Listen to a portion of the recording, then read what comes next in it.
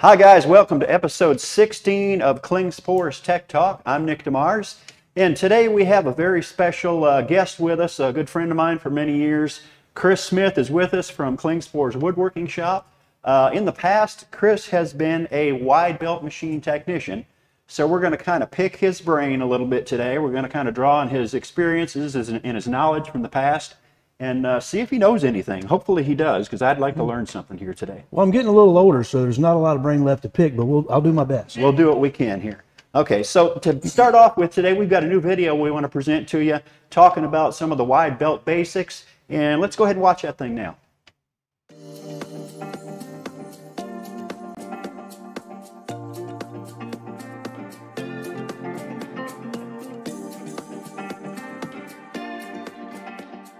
Hi guys, Nick from Klingspor Abrasives. You know the last couple of videos we've done, we uh, created a end grain cutting board, we made some shoe mold and some quarter round. Well this time we're going to do it a little different. We're going to lean a little more toward the educational side. Maybe you can learn something new about wide belts. What are wide belts? Uh, what are they good for? What kind do I need to use? Things like that. So let's jump in.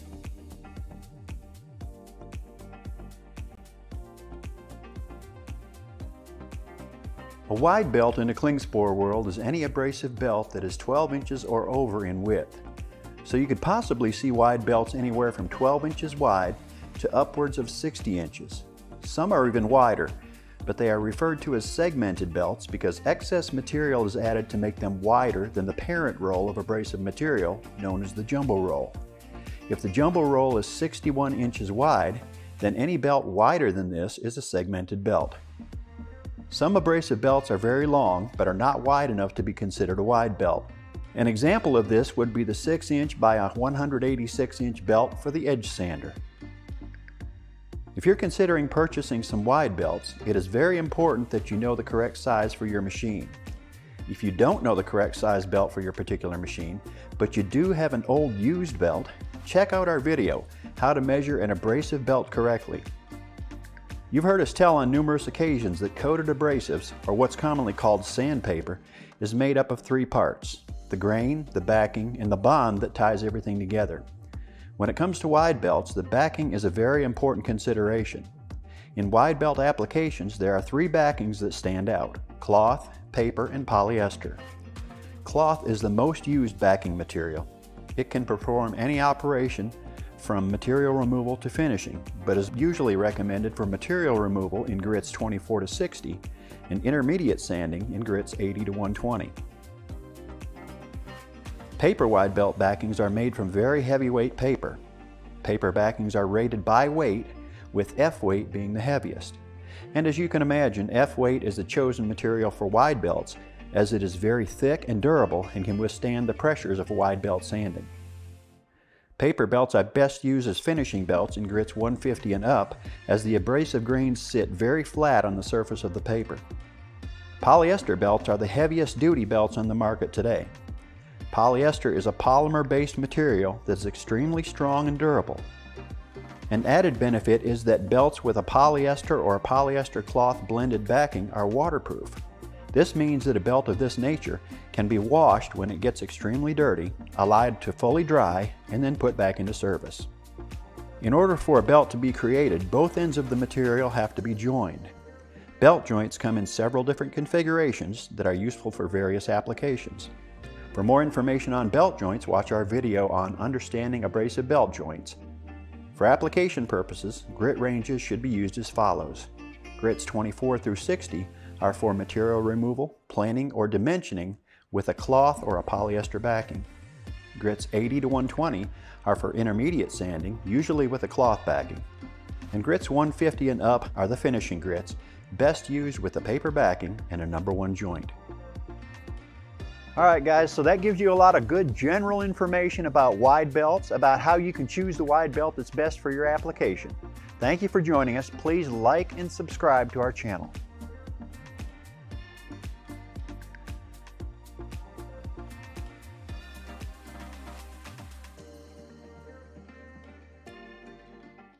So Chris, as you can see, we kind of focused on wide belt backings in this video. We kind of wanted to present a general overall look at uh, wide belts, but uh, we get a lot of questions about machines uh, and, and a lot of questions about uh, some, some specifics, some things that go wrong with the machines. We want to kind of cover some of that today, but to get us started, let's take a look at this picture, this diagram that you've created, and tell us a little bit just generally about a wide belt machine, what it does, how it works, you know, the different parts involved. Well, looking at it from the outside, it looks like a giant cabinet. And uh, but really, what a wide belt machine is, it's a series of moving parts. And so, what a lot of people don't realize, unless you own one or seen one up close, is those moving parts are all packed tightly into that giant cabinet. So, the diagram just kind of shows you things that are, are more exploded out, so you can get more of a general view of, of what that looks like. And so all, all wide belts essentially are the same. The only thing that may change are some of the components inside of there, different head configuration. It may have a, uh, a, a side stroke belt or it may have a series of discs. You know, the, usually there's other components that can be added in, but essentially it's a wide belt machine. And you've got a series of rollers that are designed to hold down the machine, hold down your part to the conveyor belt. That conveyor belt then runs at a specific feed rate, and that usually can be adjusted some and those rollers will keep the part held down as it hits each stage of the machine. So whether that's your your you've got a one head or a three head or a multi different headed machine, the principle's still the same. You're going to have uh, two uh, rollers on either side of that head holding the part down before or after it leaves that particular section. Each head would have a particular grit, and you would typically going to go up in grit to clean the previous scratches made from that particular section. So a wide belt essentially is just a machine with a conveyor, just sanding flat parts. So you've got the conveyor pulling the part into the machine with a wide belt running the opposite direction. With that being the case, and to hear you talk about it, kind of brings up the question to me. Uh, I, I would assume that the that the feed rate that you mentioned is is a pretty important part of that whole process. It is. Some machines offer a lot of versatility. It could be the feed rate of the conveyor. Uh, some even offer a variety of uh, speeds that which the, the actual sanding belt will, will pass. And so all of those can really create multiple scenarios when you're trying to diagnose what's going on. Uh, it's not as simple as your belts don't work um, because typically I've found that majority of the time, if there's an issue, it's not related to the belts. And since I don't work for Klingspor, I can say that. I'm working on enough machines the way I have. I can tell you that it is. Uh, it's definitely most of the time due to either machine issues or due to operator error. One of those two usually leads to the culprit, um, and occasionally a small percentage. I would say maybe 15 to 20 percent of the time, it is in fact related to the abrasives belts. So um, that that's the generally the way I look at it. I don't go straight away with when the customer would say this or that. Ask a lot of questions because that, the more questions you ask, the more truth you find out to what's really going on. Uh, one of the things that I've heard quite a bit from customers, from our, some of our sales reps, is about chatter marks. Chatter marks seem to be fairly common as far as wide belt machines are concerned. What have you seen with that, and what have you seen most often to be the culprit? Well, and most of the people would say the, the biggest issue with chatter marks is the actual belt joint. And for the most part, that could be true. But with a machine that operates as frequently and as fast and takes as much abuse as a wide belt machine does, those parts aren't going to last forever. So, yes, the belt joint, mainly the tape joint on the back, could be the culprit causing that thump every time it makes its way around, making contact with the workpiece. But it also could be a number of other things. You could have bad bearings in your roller, which would allow that roller head to move up and down as your work passes through. Um, you could have a, a, a roller that's that's not true anymore, where it's not truly round. Maybe it's got a flat spot on the on the roller itself. So there's a number of other things that it could be within the machine uh, that could be causing the problem. And you could have debris behind the the, the roller itself. You could have um, a, if you're using a rubber drum on your roller, it, it could have a parts of the rubber being uh, coming apart and being wedged in behind the belt as it's making contact. So there's a number of things that it could be, and there's a lot of sort of diagnostics that could be done to determine whether the uh, whether the chatter is coming from the belt or whether the chatter is coming from the machine itself.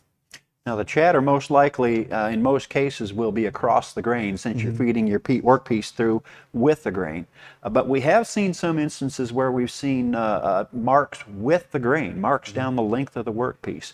What, what have you seen in the past that has to do with that? Well, that that really could be caused by any number of things, but one of the first questions I would always ask is is that line or that that mark that's running with the grain is it an actual raised line or is it a groove that's made in the line? Because that will sort of dictate which direction my next questions might be or what the possible solutions um, might be the cause from that.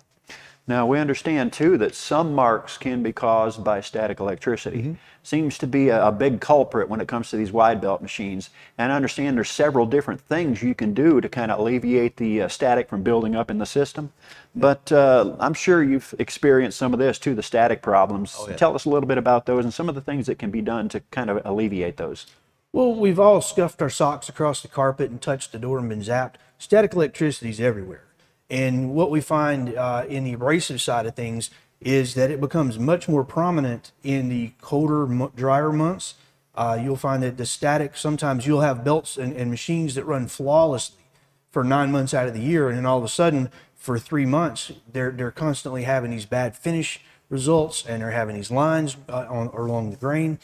And what what we found is the static electricity is being built up into the machine. Now you get some of the drier climates, like in Arizona or or you know places out west like that, where there's a lot of lot of lot less humidity in the air.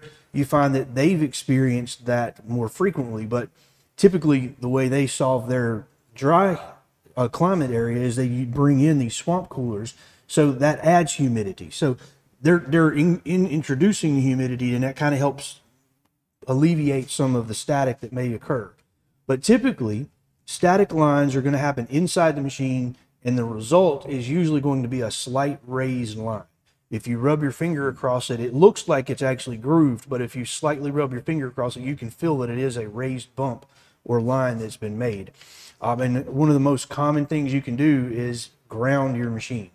Now, I, the more I talk to people about this, the comment I get back is, well, it's grounded at the dust collector and it's grounded at the plug. Yes, but if you've if you've opened your cabinet door to, to a wide belt machine and you see really fine powder just stuck all over the cabinet, you likely have a, a static problem. And it may not always reveal itself, uh, but when it does, you're going to know it, and it's going to be one of those things to, to, that's hard pressed to fix. However, simply driving a grounding rod into the ground six to eight feet and in running at least a 10 gauge uh, copper wire, 12 will work um, in, some, in most cases, but, but grounding it to the actual metal part of the bed uh, to that grounding grounding rod, you'll find that your static will completely disappear. And I've got countless stories of that occurring, where we've gone in, evaluated the wide belt machine just to find out, you know, they couldn't resolve it, couldn't resolve it. They did the grounding like we recommended, and sure enough, the the problem completely went away.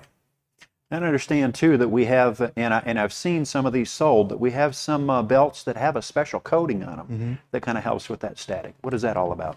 Yeah, I mean, and Klingspor's got several products that work great for this application, and that is, um, you know, when you're, it's got an anti-static coating, and and that also is usually in conjunction with other features and benefits of some of the belt sets they make. But that's a special coating that actually helps repel the dust, and in most cases that will work great. But if you get a machine that's that's very high in static electricity, it's got to discharge somewhere, and it's going to discharge through the heads of the machine which generally is going to make make contact with the wide belt and your workpiece, and that's going to create all kinds of problems. So even with a really good super anti-static belt, that won't fix all the problems if your machine is not properly grounded. I uh, was perusing the internet one day uh, for wide belt uh, issues and things to read about, and I found a article that I read through, and it turns out that you wrote the article. And in this thing, it mentions that uh, uh, hanging tinsel over the belt. What does that do? It, it's uh, it, because it's got this light metal that can help dissipate some of the discharge that that that static electricity needs to to find a way to do. And it's, And- it's great for having that Christmas Christmas atmosphere too, isn't it? It is so it keeps you festive year round. That's right. That's right. Okay, so we're going to talk in, in a minute about uh, abrasive belt joints, but, but before we do, let's watch a video that we produced a while back about that very subject.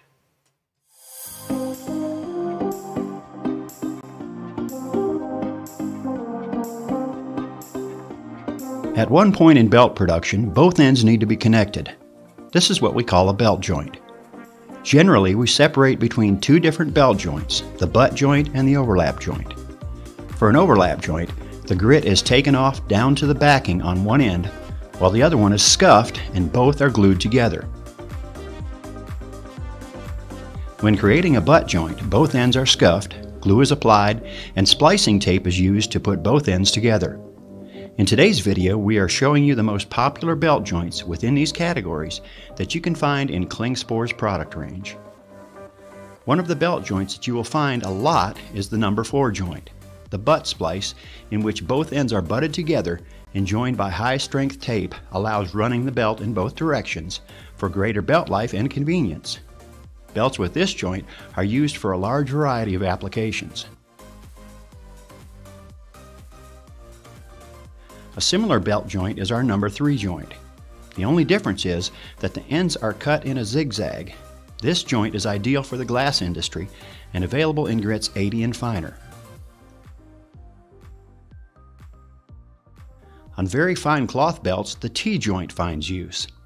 This is a top skived number 4 butt joint for platen sanding operations on wide belt sanders 150 grit and finer. The T-joint is also used for grits 80 and up when chatter is a problem. Let's take a look at the overlap joints next. For our number 1 belt joint, both ends are overlapped without removing grain. That offers maximum protection against wear in the lap joints. It's a standard joint for pump sleeves, but you can also find it on belts for soft contact wheels, slack of belt operations, or on wide paper belts in 150 grit and finer. Different than the number 1 joint is the number 2, for which parts of the grain are removed from the ends of the belt before overlapping. This ensures smooth running over platens and hard contact wheels for cloth belts 80 grit or finer. This joint is mainly seen on edge sanders where bullnose or deadhead sanding is done. The last joint we want to introduce you to is the number 6 joint. The belt ends are overlapped with the complete grain removal off the top of the splice and cut in a 45 degree angle, minimizing the amount of time the joint is in contact with the workpiece. This special belt joint comes into place for applications that require a highly conformable joint area such as mold sanding. The belts Klingspor offers are always equipped with the most suitable belt joint for your application. Nevertheless, knowing the difference helps you to understand your abrasives and improves your sanding process.